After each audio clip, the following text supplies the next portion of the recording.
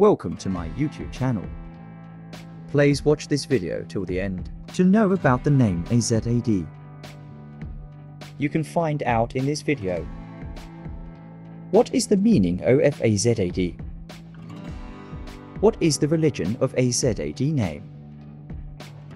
What is the origin of AZAD name? What is the lucky number of AZAD name?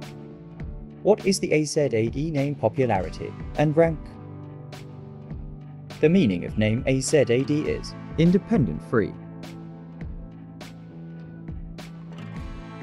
The religion of the name AZAD is Muslim. The origin of the name AZAD is Arabic. The lucky number associated with the name AZAD is 3. The AZAD name popularity and rank 1832. The name AZAD consists of four letters and one word. The gender of the name AZAD is boy. The name AZAD is short Muslim, boy name.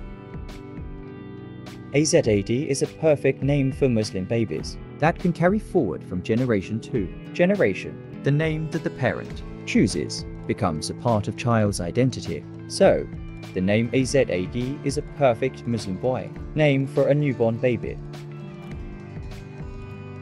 If you want to know about any other name, please comment I will try to inform you later.